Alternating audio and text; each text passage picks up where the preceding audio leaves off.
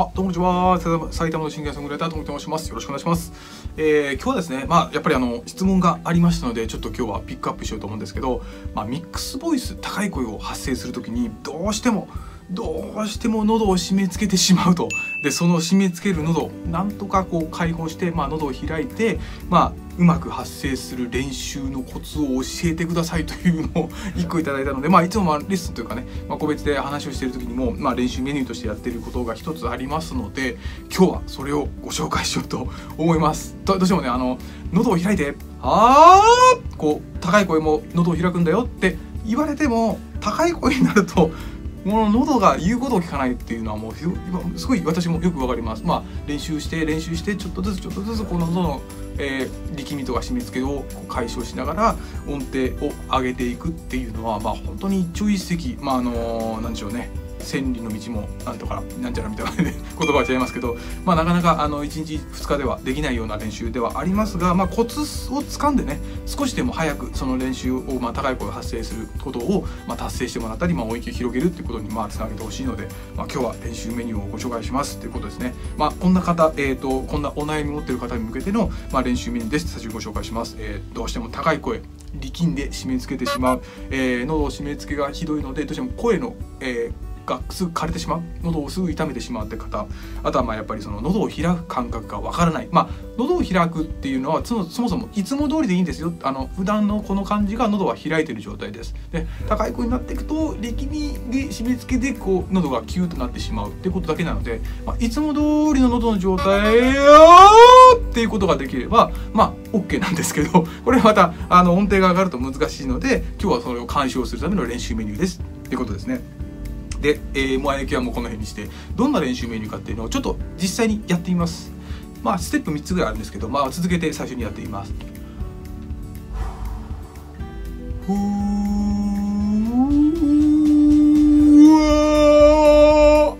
みたいな感じですもう一回やってみますふみ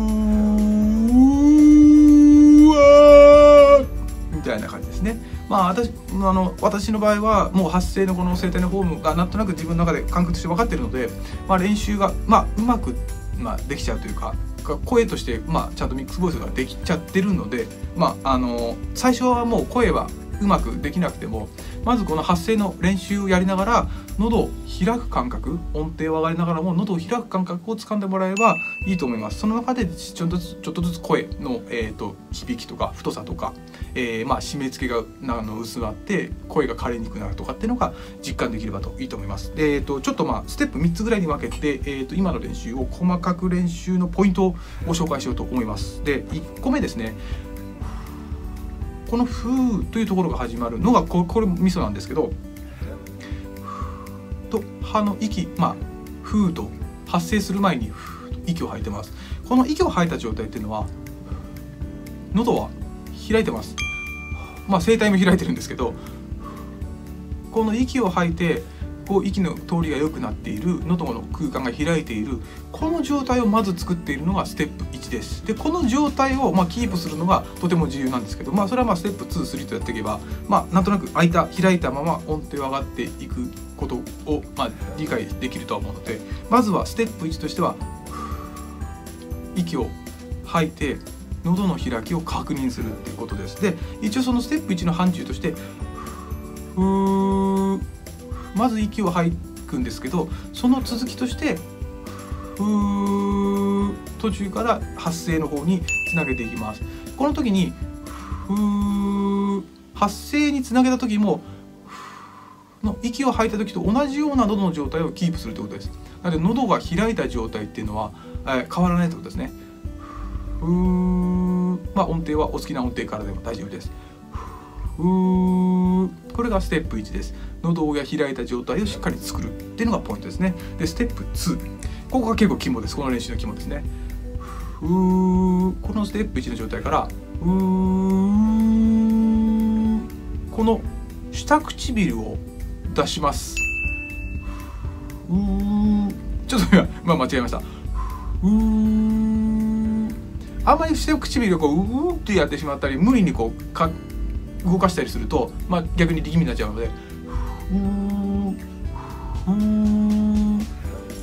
口前に出す、まあ、上唇下唇だとあるこっちの下唇の方だけ。上唇は動かさずにちょっとたらこ唇と下唇だけのバージョン。なんか言ってみ分かりませんが。うーっていう状態です。この下唇だけをちょっと前に出すことによって軽く喉の状態イメージ感覚変わることを掴んでぜひぜひ掴んでください。うー普通の状態とステップ2うーちょっと喉、えー、ごめんなさい。下唇を前に出した瞬間に喉がクッとこう前にう下下か前かな。広がる感覚が、えー、つかめれば成功です。うーんこの状態は喉を開きつつかつ高い声に必要な声帯のテンション。まあでこの声帯のテンションってこのここにあるひだが伸びることによって高い声が出るわけですがこの下唇を出すことによって声帯のテンションもしやすくなります、えー、声帯のテンションと喉を開くことがやりやすくなるということは声帯のテンション音の高さ喉を開く。さっき言った、えー、喉を開く状態でまあ豊かな声の響きが出るっていう2つをこのステップ2でなんと実現できる可能性があるということですね。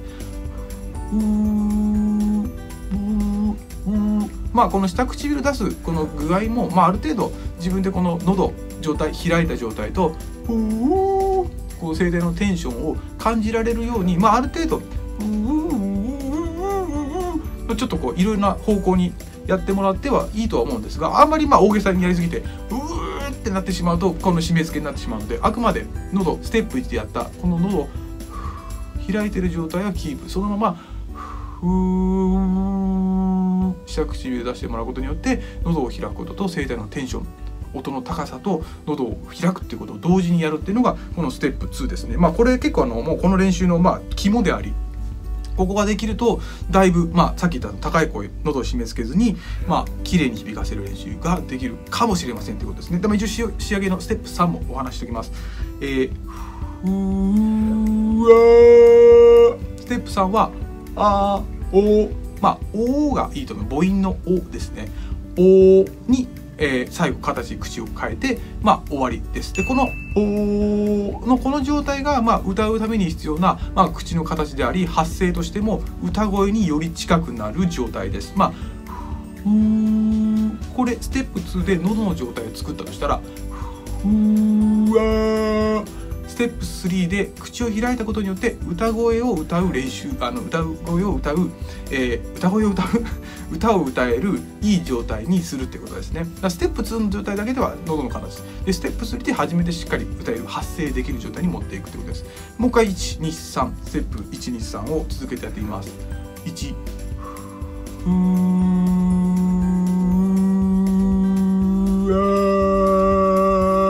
みたいな感じです。この、まあ、ステップ1から23、まあ、一応ポイントお話はしたんですけど特に大事なのがステップ2うーんとこの下唇をクッと前に出す状態。これをまあ実際に出しながらこのふーっていう時の喉の形まあ喉は開いているか声帯のテンションができているかっていうのをちょっとこう確認しながらこのふーこの上唇はなるべく動かないように下唇だけ。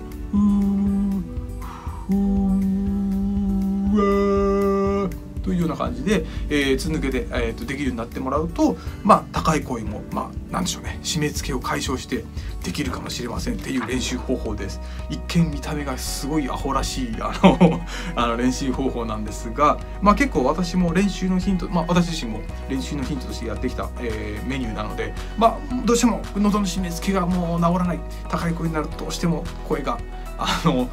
枯れちゃうっていう方は、まあ、一つのねヒントとして練習メニューとしてやってもらえるといいと思います。よくねあの高い声出してる方ってこう顎がしゃくれてるって言わ あの言われることも多いんですけど結構そのヒントを得てあの作ったメニューでもあります。なのでまあ一応ね全ての人にあのこれが、まあ、特攻として役に立つか分かりませんが、まあ、一応この喉の状態あの開くってことと声帯のテンション高い声が発生するっていうことを